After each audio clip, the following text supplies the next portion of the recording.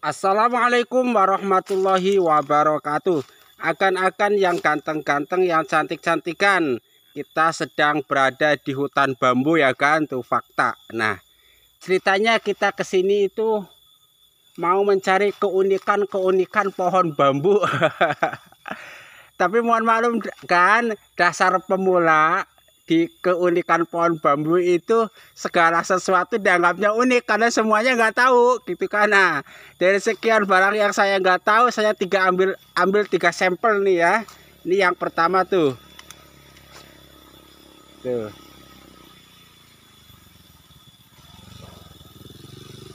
Tuh. Bentuknya pak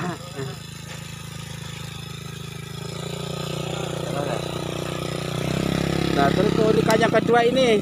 Tuh.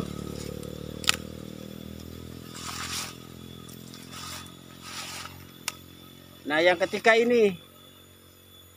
Nah, coba nih para suhu bambu unik.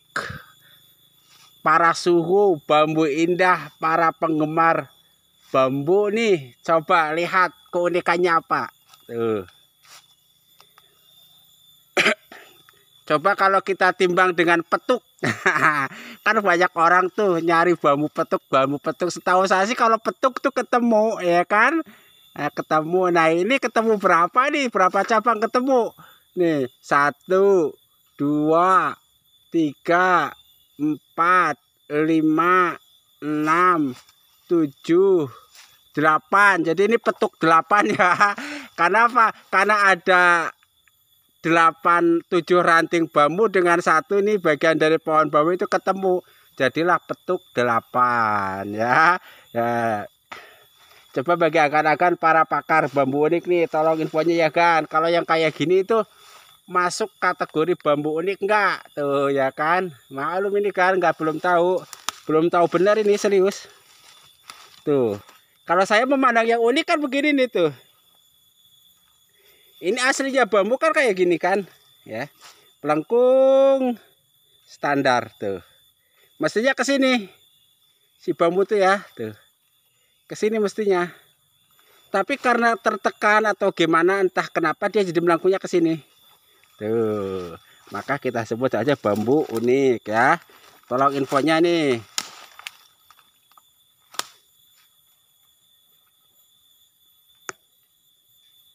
tuh ya kan?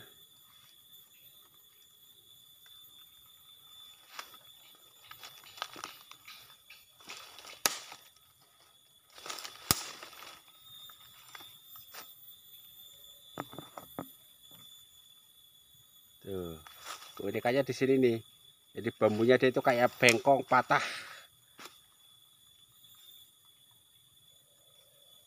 Ya, mudah-mudahan menghibur kan ini untuk konten aja ya. Lalu coba kita lihat bambu unik yang kedua. tuh ini ya yang kedua nih tuh. Nah, ini kenapa saya ambil sampel kan? Ini yang kedua ini. Nih, sebagai orang yang belum tahu bambu, ini kayak ada tiga buku nih, empat bahkan ya. Ini satu, dua, nih ya kan di sini mungkin.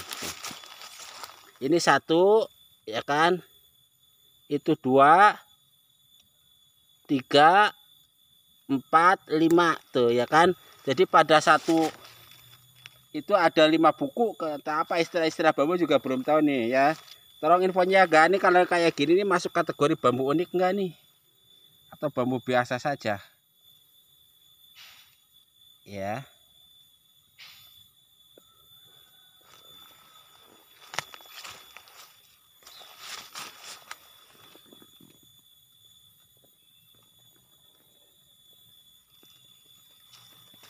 tuh.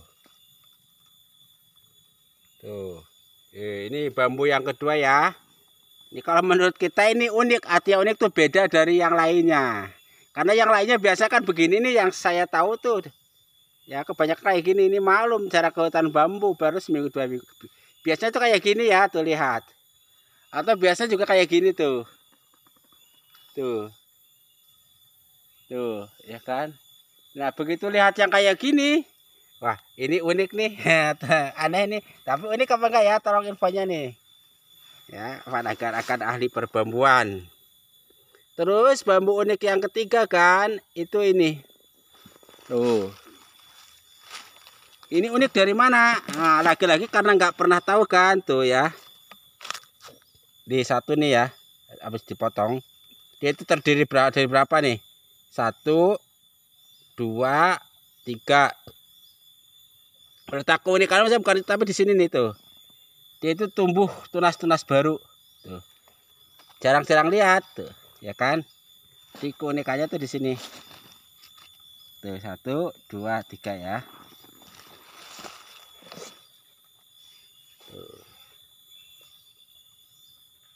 Tolong para suhu bambu unik like komen dan sharenya serta subscribe channel ini untuk melihat supaya bambu ini terus tumbuh. Tuh.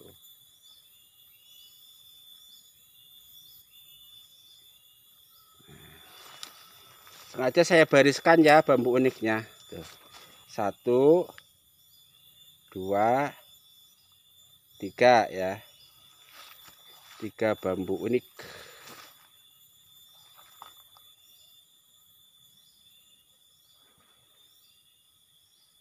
Buat closingnya ini ya. Jangan lupa like subscribe dan share. Mudah-mudahan bermanfaat dan menghibur ya. Membuat kita happy happy aja. Wassalamualaikum warahmatullahi wabarakatuh